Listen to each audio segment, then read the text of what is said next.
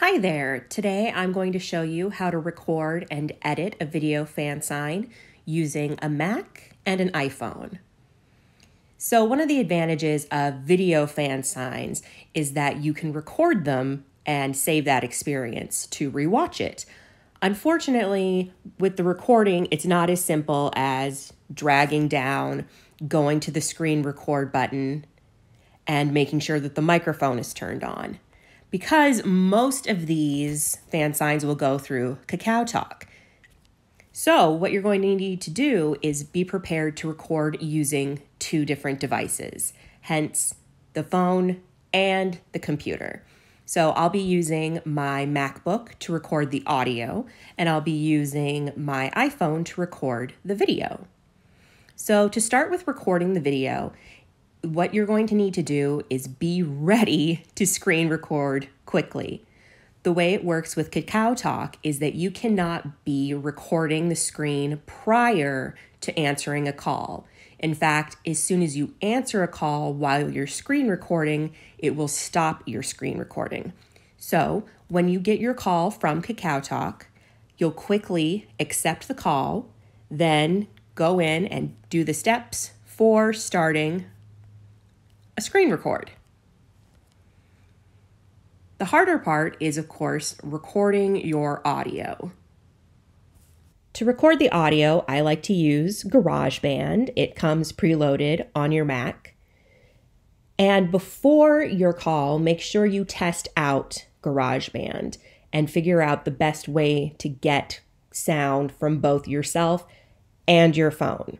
So, what I did was I used an external mic because I had one available. So, make sure that you have someone call you on KakaoTalk on your phone and practice setting your phone around different spots, different microphone areas, both on your computer and external mic. Figure out what will sound best, both coming from you, but definitely coming from the phone. When you record, you push the record button, pretty self explanatory. You're going to do that as soon as you start your fan call.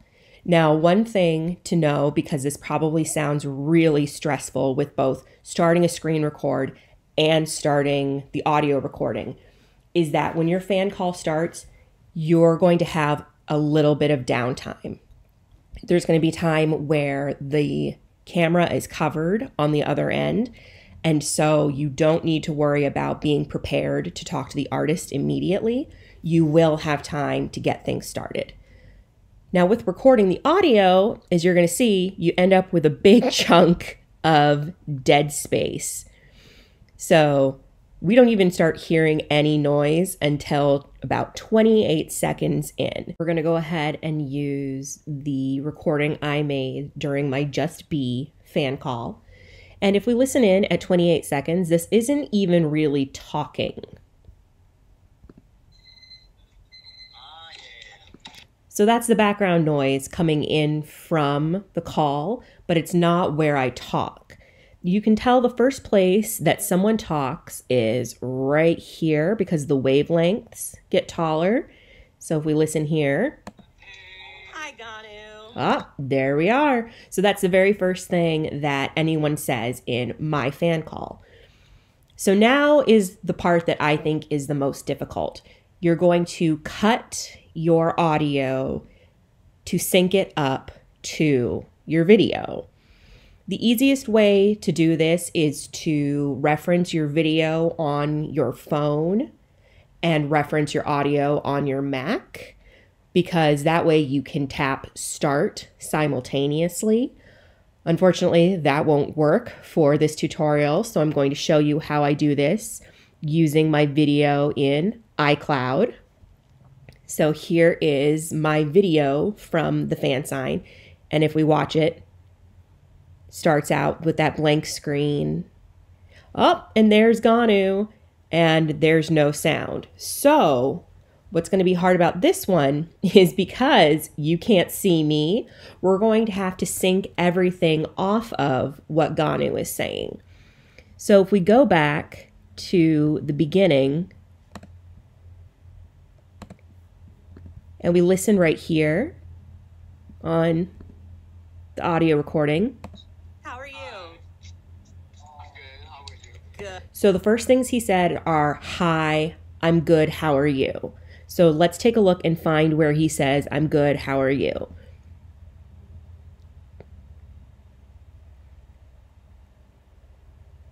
There's hi. I'm good, how are you? So that is 10 seconds in.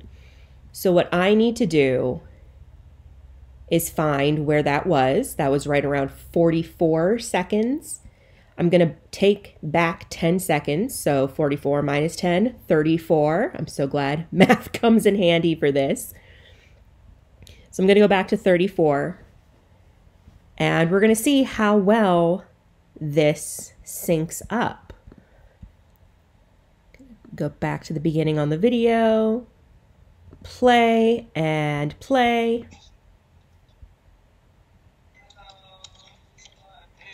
Hi, Geonu. How are you? Good. So it didn't sync up quite perfectly. So we're going to go ahead, we just adjust it back and forth and back and forth. And that can take a little bit of time. So we're going to do some cooking show magic and I'm going to go ahead and go to where I need to on my recording. So once you get your header, that's what this is, to where you want it, your playhead, you're going to do Command T. And what that does is it splits this into two parts. Go ahead, get rid of that first part. We don't need it.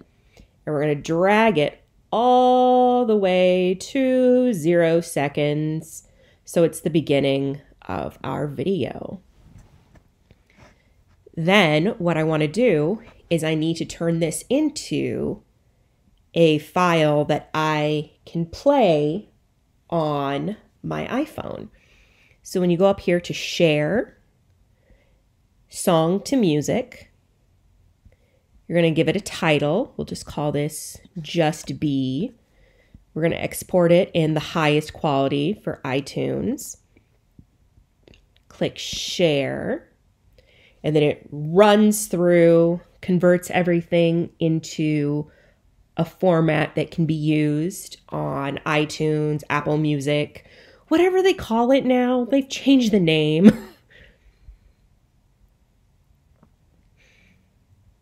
and as you can see, it takes a little while for it to bounce.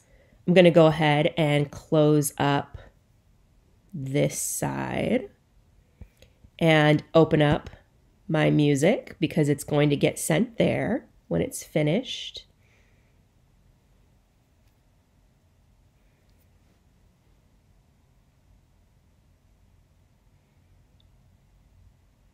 Really making the little circle go into overtime.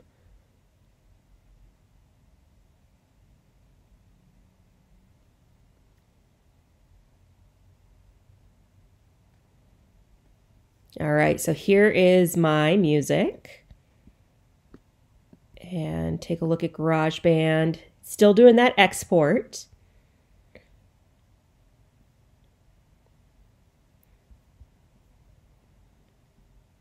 I'm pretty sure you don't want to sit here and watch it export, so I'm going to pause this and restart it when it's ready. All right, there we go. See, the track is now in my music. Now I've got to move this track from my computer over to my iPhone. So I'm going to sync those up.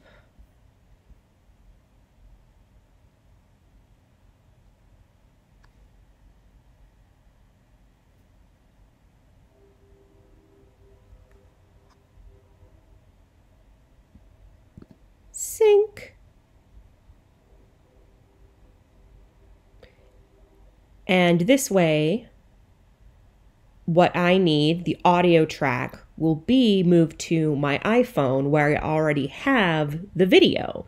So finally, I will be able to put the audio and the video together using iMovie on my iPhone.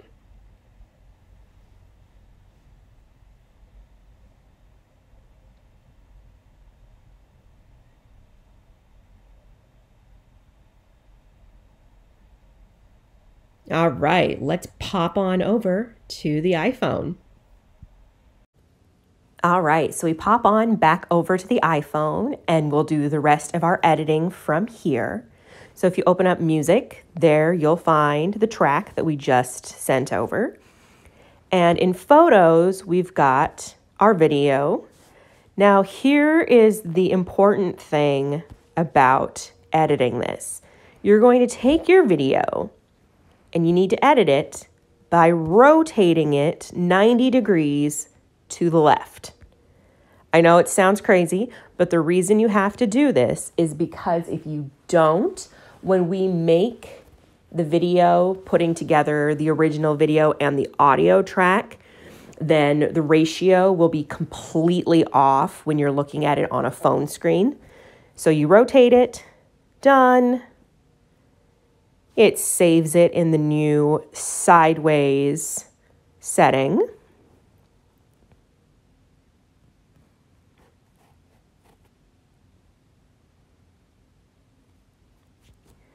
Then we're going to pop into iMovie. In iMovie, under Start a New Project, we're going to choose Movie. And your moments will pop up. We're going to go ahead and take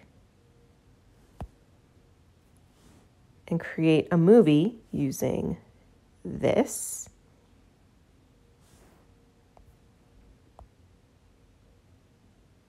See, there's our movie from earlier. It's all nice and sideways.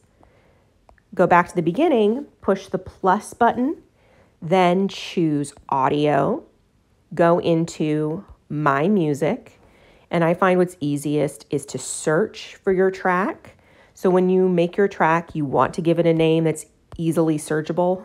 So I'm just going to use Just B, and it's under artist, albums. There it is. There's my song Just B, push my plus sign. So now you can see that the audio and the video have synced up. So let's push play and see what happens. Hi, Geonu. How are you? Good, thanks. Perfect. It is perfectly synced up. So now that those are synced up, you can just tap done. And it has my movie. And in the bottom left corner, you have that play button. Tap that. And it shows it to you at the correct angle. I'm going to go ahead and close out of that. Now, if you're like me, you want to cover up the image of you in the fan sign video. So that top left corner picture. And I'm going to go ahead and show you how to do that. So edit your movie what you need to do is pick out a picture that you want to go in that top left corner. Although I guess when your video is up there, it's your bottom left corner, but it will be your top left corner. So going back into our photos, let's say I want to use this picture. What I need to do is first duplicate it. Then the one that's duplicated, I'm going to edit it by rotating it 90 degrees to the left, just like we did with the video.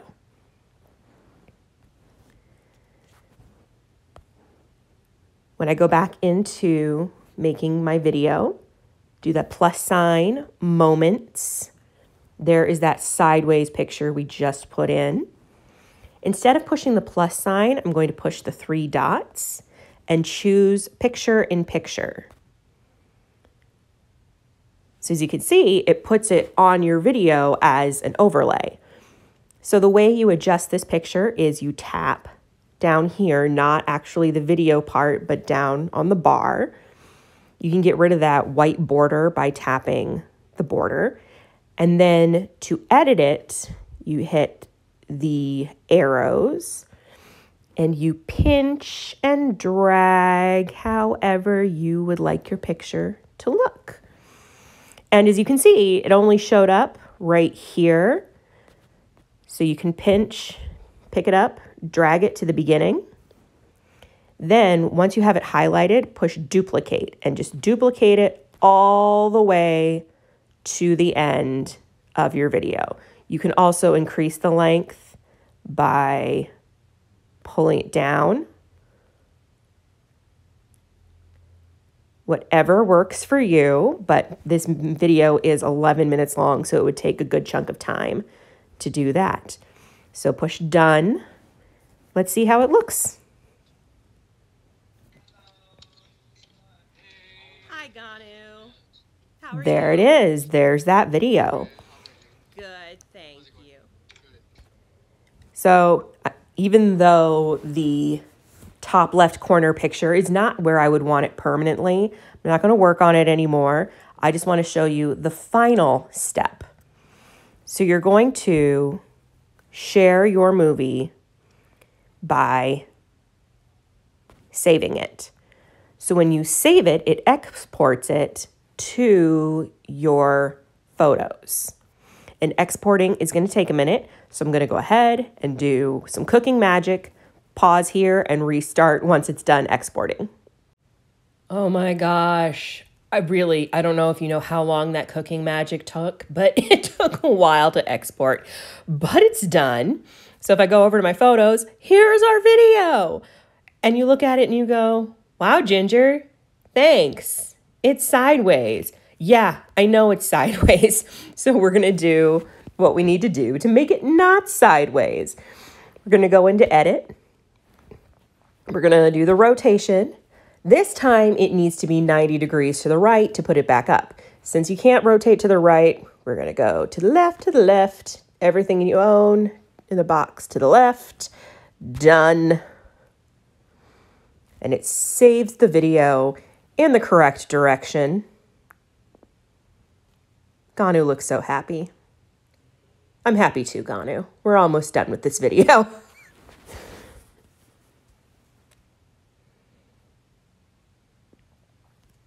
All right.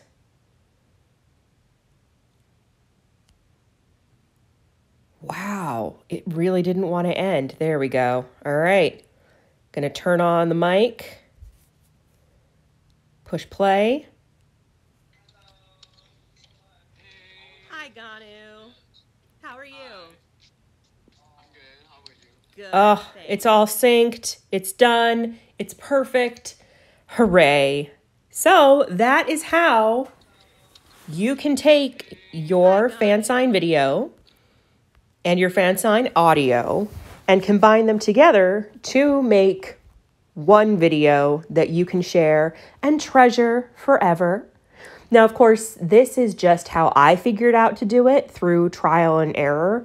If you have tips or other ways that you edit your fan sign videos, leave them in the comments. Help other fans out because we all want to figure out how to do this so we can enjoy our fan signs in the future.